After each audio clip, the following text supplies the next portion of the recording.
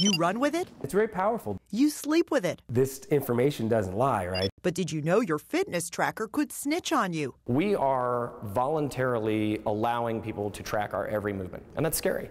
What you need to know before you put on that Fitbit, Garmin, or Apple Watch. This is the same as the black box data you would get on a car. And it could be used against you in a court of law. We have another tool that we can get to help get to the truth. Channel 2 Action News uncovers groundbreaking cases using personal activity data. It could save you, or it could go against you. Thursday at 6 on Channel 2 Action News.